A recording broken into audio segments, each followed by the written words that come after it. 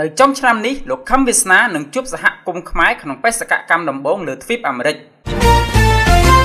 ប្រមុខគណៈបកសម្ព័ន្ធដើម្បីប្រជាធិបតេយ្យលោកខឹមវាសនាដែលគេស្គាល់ថាជាអ្នកនយោបាយមិនសំចៃមាត់មួយរូបនៅកម្ពុជានឹងជួបសហគមន៍ខ្មែរប្រចាំប្រទេសកាណាដាក្នុងជំហានដំបូង ដែលលោកបានចាក់ចែងពីមាតុភូមិកំណើតដើម្បីបំពេញទស្សនកិច្ចនៅទ្វីបអាមេរិកនៅចុងឆ្នាំ2017នេះបើយោងតាមសេចក្តីជូនដំណឹងមួយសន្លឹករបស់គណៈបកសម្ព័ន្ធដើម្បីប្រជាធិបតេយ្យចេញផ្សាយកាលពីពេលថ្មីៗនេះបានបញ្ជាក់ប្រាប់សាធារណជនឲ្យដឹងថាគណៈបកដែលមានរូបសញ្ញាជួងមួយនេះហៅកាត់ថា LDP នឹងរៀបចំប្រារព្ធធ្វើវេទិកាពិសេសមួយដើម្បីជួបជុំសហគមន៍ខ្មែរប្រចាំប្រទេសកាណាដានៅថ្ងៃអាទិត្យទី3ខែធ្នូឆ្នាំ2017ខាងមុខ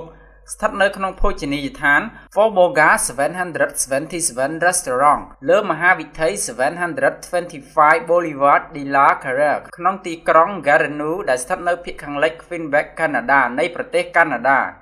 នៅក្នុងលិខិតនេះដដែលបានបញ្ជាក់ប្រាប់ថាប្រជាពលរដ្ឋខ្មែរដែលកំពុងរស់នៅប្រទេសកាណាដាទាំងអស់អាចចូលរួមក្នុងកម្មវិធីនេះដើម្បីសួរបញ្ចេញមតិយោបល់ទៅកាន់លោកខឹមវាសនាប្រធានគណៈបកសម្ព័ន្ធដើម្បីប្រជាធិបតេយ្យដោយសេរី គួររំលឹកផងដែរថាចាប់តាំងពីចេញលទ្ធផលបោះឆ្នោតក្រុមប្រឹក្សាឃុំសង្កាត់អាណត្តិទី4រួចមកលោកខឹមវាសនាហាក់បីមានភាពស្ងប់ស្ងាត់នៅក្នុងទីលាននយោបាយកម្ពុជាដោយលោកធ្លាប់បានបញ្ជាក់ប្រាប់ថាក្នុងរបបនយោបាយថ្មីនេះលោកនឹងចាក់ចេញពីប្រទេសកម្ពុជាដើម្បីពំនាំទស្សនៈសកលដែលលោកបានរកឃើញទៅតស៊ូមតិលើឆាកអន្តរជាតិវិញម្ដង។